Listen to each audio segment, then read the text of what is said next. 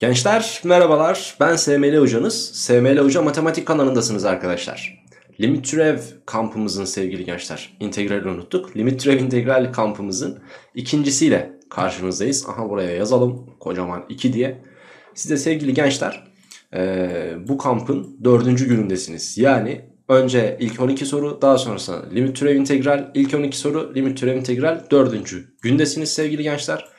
Umarım sizin için faydalı olan bir kamp oluyordur. Güzel sorular çözmeye çalışıyoruz sizler için. Özellikle böyle daha çok ÖSYM sınavında yani YKS'de çıkabilecek soruları ben sana göstermeye çalışıyorum. Ee, bunun sevgili gençler devamı gelecek mi? Tabii ki gelecek. Kanala abone olup bildirimleri açmayı ve videoyu da beğenmeyi lütfen unutma. Beni mutlu edecektir bunlar. Evet ilk sorumuzda dilerseniz vakit kaybetmeyelim ve başlayalım. Bir limit süreklilik sorusu, güzel bir limit süreklilik sorusu. fx her noktada sürekli bir fonksiyon olmak üzere. gx mutlak fx bölü fx olarak tanımlanıyor sevgili gençler. Buna göre g fonksiyonu için her noktada tanımlıdır denilmiş sevgili gençler. Şimdi her noktada sürekli olan bir f fonksiyonumuz var. Ee, bu fonksiyonu sevgili gençler sıfır olduğu yerlerde yani fx'in sıfır olduğu yerde burası sıfır bölü sıfır olacağından hocam bu belirsizlik giderilemez mi diye sorabilirsin. Ama ben diyorum ki payda sıfır olduğu yerde istersen sen belirsizliği giderirsin ve limitini bulursun. Onda sıkıntı yok ama payda sıfır olan yerde o fonksiyon yani gx fonksiyonu mutlaka ama mutlaka tanımsızdır. E hocam biz bu 0 bölü 0 belirsizliğini niye o zaman e, alıyoruz ki? Limiti bulmak için. Yani fonksiyonun değerini bulmak için zaten 0 bölü 0 belirsizliğini gidermiyorsun sen. Sen limiti bulmak için 0 bölü 0 belirsizliğini ortadan kaldırıyorsun. Doğal olarak sevgili gençler g fonksiyonu her noktada tanımlı değildir. Bu gitti. Limitinin olmadığı nokta sayısı fx eşittir 0 denkleminin çözüm kümesinin eleman sayısıdır denilmiş. Şimdi şöyle diyeceğim. Fx sevgili gençler sıfırdan küçükken bizim g fonksiyonumuz gx fonksiyonu diyelim şöyle açalım hop. Fx'in sıfırdan küçük olduğu yerlerde burası eksi fx diye çıkar. Eksi fx'i fx'e bölersem eksi 1 olur. Fx'in sıfırdan büyük olduğu yerlerde ise burası fx diye çıkar. Fx bölü fx de sevgili gençler 1 olacaktır.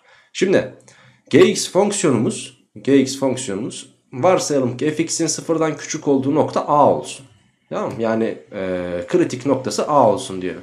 O halde sevgili gençler eksi 1 olarak gelecekmiş. Eksi sonsuzdan e, buraya kadar şurası eksi 1. Ve daha sonrasında artı 1'e sıçrayacak. E şimdi limitinin olmadığı nokta sayısı işte fonksiyonun sevgili gençler buradaki köküdür. Yani fx'in köküdür. Dolayısıyla arkadaşlar fx eşittir 0 denkleminin çözüm kümesinin eleman sayısı demek fx'in kaç tane kökü varsa Gx'te o kadar noktada limiti yoktur demek. Demek ki ikinci öncülümüz bizim doğru olacak. Her x reel sayısı için eğer fx sıfırdan küçükse g fonksiyonu sabit bir fonksiyondur denilmiş. Evet şunu hiç kullanmayacaksın diyor. fx her noktada sıfırdan küçükse gx de her zaman eksi 1 çıkacaktır. Dolayısıyla sevgili gençler gx fonksiyonu e, gx eşittir eksi 1 olarak adlandırılabilir. Üçüncü öncülümüz de doğru. Cevabımız da bu şekilde Edirne seçeneği olacaktır diyebiliriz. Güzel bir yorum sorusuydu. Geçiyorum ikinci soruma. fx bir fonksiyon. f2 de 3'tür. f fonksiyonunun x eşittir 2 noktasında limiti var fakat bu noktada süreksizdir denilmiş. Şimdi bu ne demek sevgili gençler? Kaba taslak yani kafamızda canlanan görüntüyü çizebilmemiz gerekiyor. Yoksa soruda hata yapma imkanımız e, çok yüksek, ihtimalimiz çok yüksek. Buraya x buraya y ekseni, buraya da orijin noktamız diyelim. Diyor ki şimdi f2'nin 3 olduğundan bahsetmiş. Yani 2 için bu fonksiyon 3'ten geçiyor şu şekilde. Ama ama limiti varmış ama sürekli değilmiş. Yani limit o noktadaki görüntüye eşit değildir deniliyor. Ben bunu nasıl çizebilirim? Mesela fonksiyonu getiririm şu şekilde. Hop şuradan şu şekilde devam eder sevgili gençler bizim fonksiyonumuz. Ve işte şu noktada mesela bu fonksiyon ismi f olsun. F2'nin biz 3 olması gerektiğini biliyoruz ama f'in 2'deki limiti sevgili gençler 3 değil. Güzel. Böylelikle süreksiz bir fonksiyon elde ettik 2 noktasında. E, bu fonksiyonun limiti var ama süreksiz.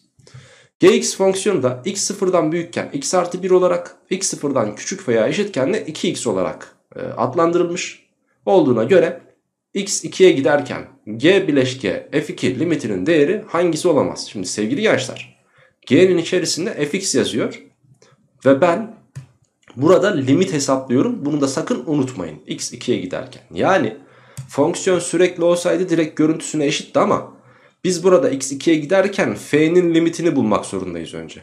Ki burada f'nin limiti sevgili gençler 3'ten farklı bir sayı. Dolayısıyla ben diyorum ki fx yani buradaki bunun limiti 3'ten farklıdır. E şimdi g fonksiyonuna 3'ten farklı bir değer koyacağım ama 3 civarında bir de e, bakayım. He tamam sıkıntı yok. x noktasına ben 3'ten farklı bir e, fx 3'ten farklı olduğu için g'nin içinde 3'ten farklı bir değer yazacağım. Peki güzel. Şimdi o halde sevgili gençler ben 3'ü şurada yerine yazarsam çünkü x sıfırdan büyük 3 de burada. Ee, bunu ben yerine yazarsam o halde g bunun yerine 3'ü yazamıyordum. G3'te sevgili gençler 4 olduğuna göre demek ki g fonksiyonu asla ama asla 4 değerini alamaz diyeceğim. Şimdi tekrar ediyorum.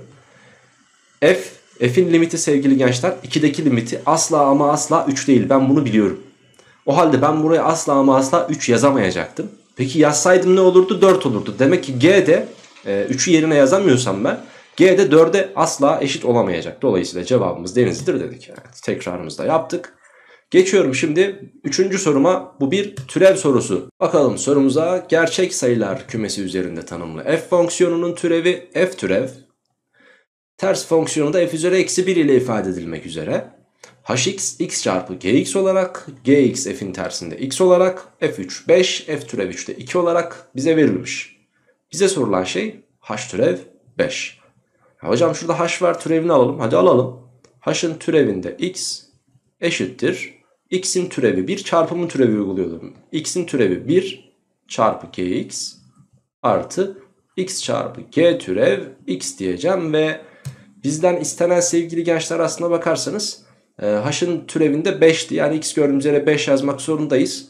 Dolayısıyla e, burada bunu yapmadan önce şurada g türev diyor ya g'nin türevini alırken f'in tersinin türeviyle uğraşmakta açıkçası istemiyoruz. Peki ne yapmamız lazım? Şöyle diyelim sevgili gençler. Ee, bize şurada g'nin türevinde 5 lazım olduğu için ben şurada da şunun türevini almak istiyorum. Ama onun türevinde de bunun türeviyle uğraşmak istemediğim için ben o kısmı şu şekilde düşüneceğim. Bakın şuradaki x ile buradaki gx'in yerlerini değiştirirseniz f içerisinde gx eşittir x olacaktır. Şimdi bunun türevini aldığınız takdirde f'in türevinde gx çarpı g türev x eşittir 1 e, olacaktır. x'in türevi de 1'dir. Pekala şimdi 5'i yerine yazdığımız takdirde sevgili gençler burası f'in türevinde g5 olur. Çarpı g'nin türevinde 5 o da eşittir 1 olacaktır diyebiliriz. Şimdi devam edelim. Öncelikle sevgili gençler ben burada gx'in f'in tersinde x'e eşit olduğunu söylemiştim. Peki e, f g5'te bakın burada g5'i yerine yazdığım takdirde ben f g5'te kaça eşit olacak? 5'e. E madem öyle f fonksiyonunun 5 altındaki görüntüsü 5 ise sevgili gençler madem öyle g5 aslında. E demek ki şu g5 nedir? 3'tür. Bakın burada verilmiş. Bu bu yüzden verilmiş demek ki. Demek ki sevgili gençler g5 3'müş. Bunu bulduk. F türev 3 kaçmış? O da 2'ymiş. Bulmaca gibi ya. Burası da 2. 2 ile neyi çarparsam 1 olur? Tabii ki 1 bölü 2. E bize g türev 5 lazımdı. İşte sevgili gençler burası 1 bölü 2'ymiş. Artık ben h türevde 5'i yerine yazabilirim. h türev 5 eşittir. g5 artı 5 çarpı 1 bölü 2 diyeceğim. E g5, e g5 de burada bulmuştuk bak 3'tü. O halde burası da 3'tür. Yani diyor ki 3 ile 5 bölü 2'yi toplayacaksın. E 3 kere 2 6 5 ekledim 11 bölü 2 yapar. Cevabımıza denizli seçeneğinde verilmiştir deriz. Güzel bir türev sorusuydu sevgili gençler. Aklınızda bulunsun. Bu soruları bu şekilde çözebilirsiniz e, şu f'in tersinde x ile uğraşmak istemediğimiz için biz burada g ile e, gx ile x'in yerini değiştirerek f'in düzünü elde etmeye çalıştık ve başarılı olduk. Bir diğer sorumuz dördüncü soru bir türev sorusu yine. Yukarıda f ve g fonksiyonlarının grafikleri verilmiş. f türev 4 1 bölü 2'ymiş ve g türev 3 de 1 bölü 3'müş. ACB açısı da alfa olduğuna göre tanjant alfa kaçtır? Şimdi öncelikle sevgili gençler Ee, ben şuraya beta dersem buranın tamamının açı ölçüsüne beta dersem bu beta'nın tanjantı tanjant beta eşittir. Bu f fonksiyonunun 4 noktasındaki teğetinin eğimine eşittir. Çünkü şu doğrunun eğimi burada da aynıdır, burada da aynıdır, burada da aynıdır. O halde sevgili gençler e, f türev 4 1 bölü 2'ymiş. Yani o zaman tanjant beta da 1 bölü 2'dir. Bir de sevgili arkadaşlarım e, şu kısma şuradaki açı değerine de teta dersem tanjant teta'ya bakalım şimdi de. Tanjant teta dediğimiz ölçü de şu doğrunun eğimine eşittir ki o doğrunun eğimi de g türev 3'tür. Yani 1 bölü 3'tür. Peki şimdi biz bunları biliyoruz. Ve ayrıyetten şunu da biliyoruz biz. Hocam alfa ile ya da beta'dan teta'yı çıkardığımız takdirde ben alfayı bulabilirim de diyebiliyoruz. O halde bizden tanjant alfa istenmişti ya. Ben o zaman tanjant beta eksi teta'yı bulurum. E, daha iyi olur. Tanjant beta eksi teta'yı da trigonometride e, fark formülünden bulacağız. Tanjant beta eksi tanjant teta bölü 1 artı tanjant beta çarpı tanjant teta diyebiliriz. Pekala. Tanjant beta ve teta 1 bölü 2 ve 1 bölü 3'tü. O halde yerine yazacağız biz burada. Bakın şurada yerine yazacağım. 1 bölü 2 eksi 1 bölü 3 bölü 1 artı 1 bölü 2 çarpı 1 bölü 3 diyeceğim. 1 bölü 2'den 1 bölü 3 çıkarırsam 1 bölü 6 gelir sevgili gençler. Paydayı 3 ve 2 diye genişlettiğiniz takdirde. Alt kısımda 1 artı 1 bölü 6'dan sevgili gençler 7 bölü 6 gelecektir. Burada bölü 6'ları sadeleştirdiğimiz takdirde cevap karşımıza çıkar. Cevabımız 1 bölü 7'dir deriz. Adana seçeneğini işaretleriz sevgili gençler. Evet bu da güzel bir soruydu. Trigonometri artı türev harmanı bir soruydu sevgili gençler. Eğimi e, alt, eğimin altını çizmeye çalıştık. Umarım başarılı olmuşuzdur. Bir diğer sayfamıza geçiyoruz. Bu arada videoyu beğenmeyi unutma. Kanala abone değilsen abone olmayı unutma. Pozitif gerçek sayılar kümesine tanımlı bir f fonksiyonu negatif değerli. Şimdi fx negatifmiş sevgili gençler. Tamam. Artan fonksiyon olduğuna göre f türev x sevgili gençler pozitifmiş.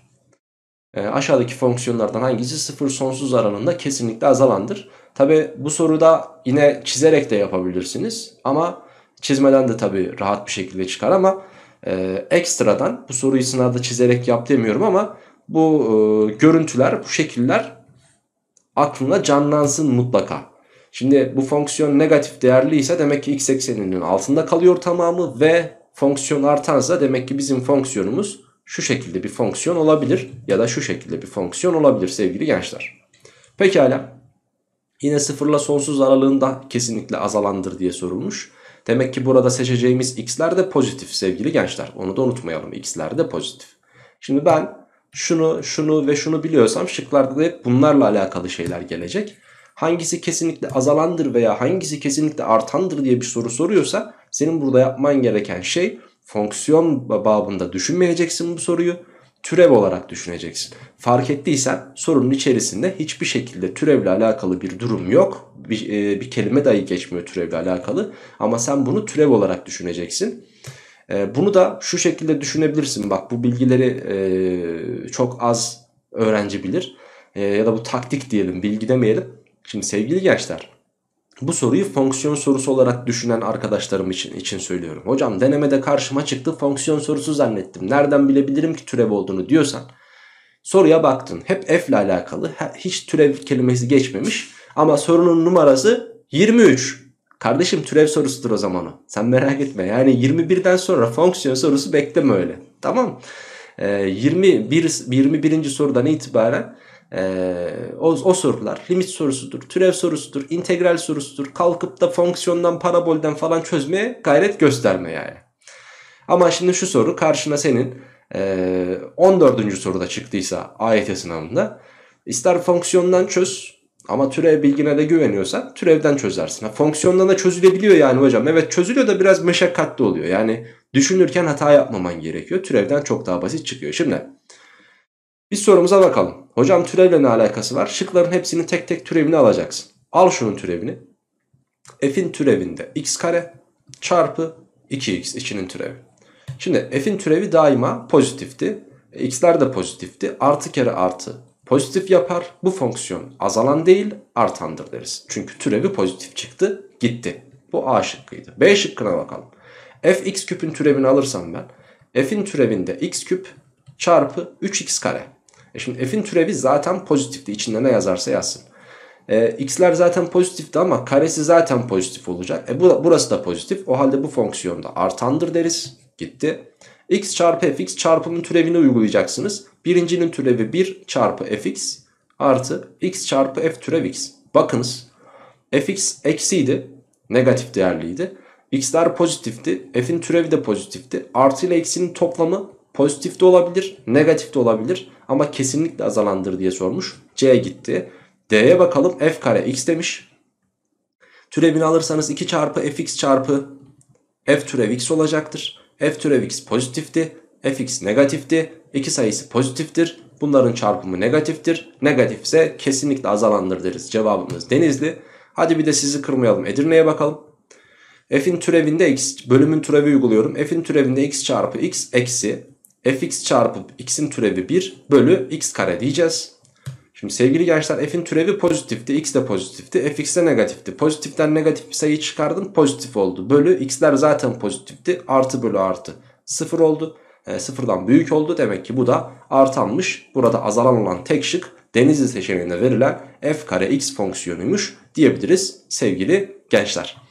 Şimdi hazırsak integrale doğru geçelim. 3 tane de birbirinden güzel integral sorumuz var. Dikkatli bir şekilde dinlediğin takdirde bu tarz soruları da yapmayı çok rahatlıkla becerebileceksin.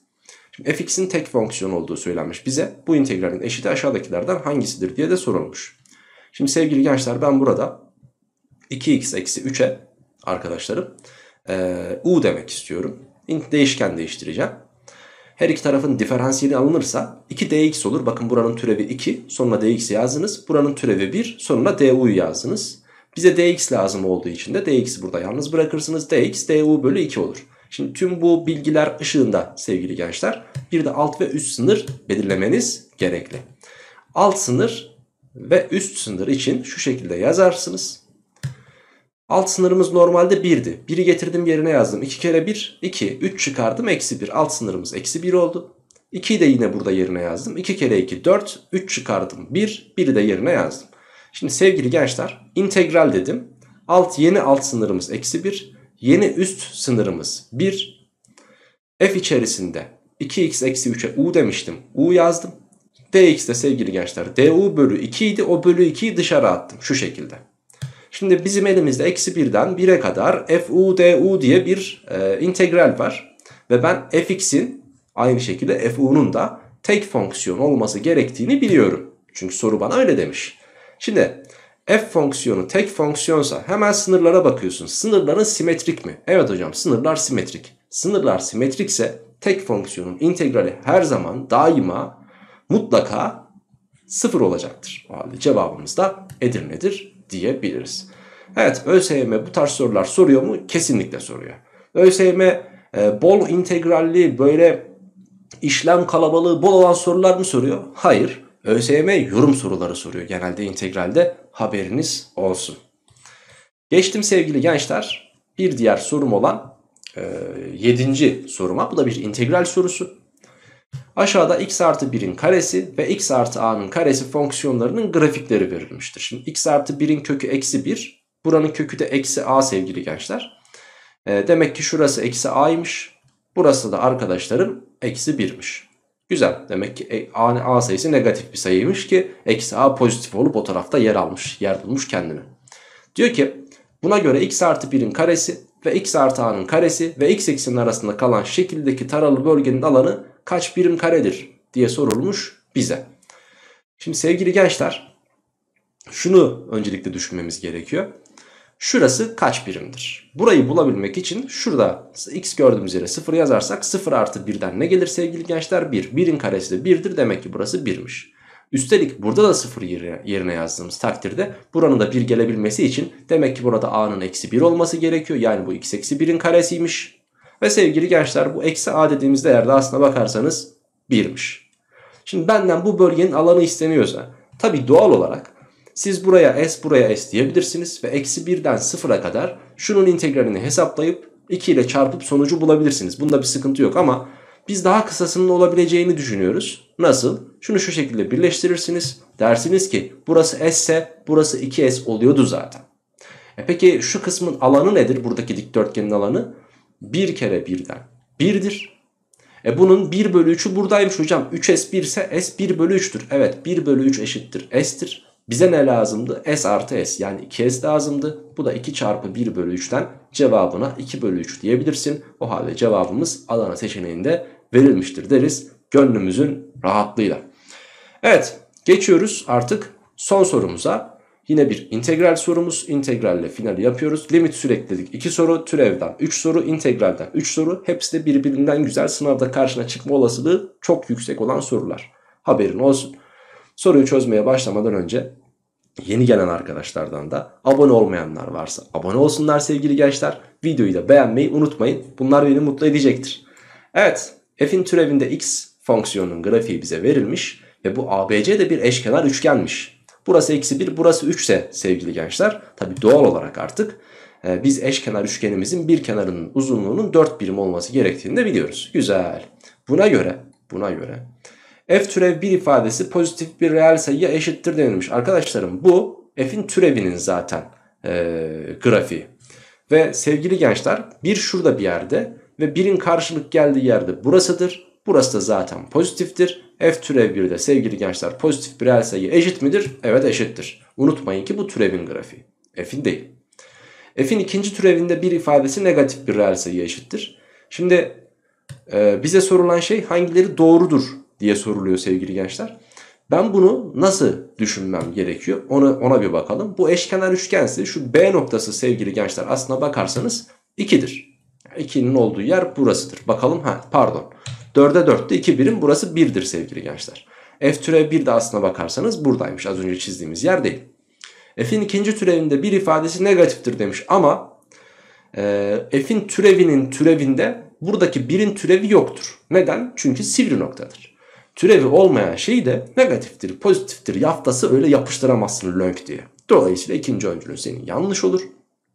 F3'ten f-1'i çıkarırsan da diyor 4 kök 3'ü bulursun diyor. Şimdi bu ne demek? Bu şu demek sevgili gençler. Aslında bakarsanız hocam bu türev sorusu olmamış mı? Sen integral dedin ama türev sorusu değil kardeşim. Bu bir integral sorusu. Aslında türevle integral karışımı bir soru. Üçüncü öncül tamamıyla integralle alakalı. Nasıl? Şu şekilde. İntegral eksi 1'den 3'e kadar f'in türevinde x dx dersen bu sana neyi verir biliyor musun?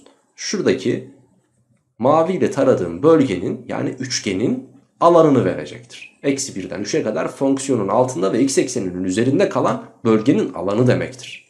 Ve bu alan eşkenar üçgen olduğu için a kare kök 3 bölü 4'tür. Yani 4'ün karesi kök 3 bölü 4'tür. 4 bir kenar uzunluğumuz. Buradaki 4 ile buradaki 4 giderse alanımız 4 kök 3 olur. Demek ki burası 4 kök 3 birim karelik bir alanmış. Peki bu e, bunun sonucunun ben 4 kök 3 olduğunu biliyorum artık. Peki bu ne demek? F'in türevinin integrali fx değil midir? Evet. O halde sen fx'te x gördüğün yere bir eksi 1 bir de 3 yazacaksın. Yani f3 eksi f eksi 1'i bulacaksın. E bu da bulunmuş zaten az önce bulduk. 4 kök 3 değil mi? Evet. f3'ten f eksi 1 çıktığı zaman 4 kök 3 kalır ifadesi o halde bizim için doğrudur. Ve cevabımız 1 3'tür diyeceğiz sevgili dostlarım. Evet pdf'imizin ve videomuzun sonuna geldik. Ee, yarınki kampımızda yine ilk 12 soru kampı yapacağız sevgili gençler. Haberiniz olsun. Ee, kaçırmayın derim çünkü birbirinden güzel sorular çözeceğiz. Bu ilk 12 soru hakkında da zaten bilgilendirmeyi yapıyorum. Ee, kanalın videolar kısmından zaten 3-4 video önceki videodur. Bulabilirsiniz sevgili gençler bu videoları. Ee, bir sonraki videoya kadar görüşünceye dek hoşça kalın, sağlıkla kalın ve bol bol da matematik çalışmayı unutmayın. Sizleri seviyorum.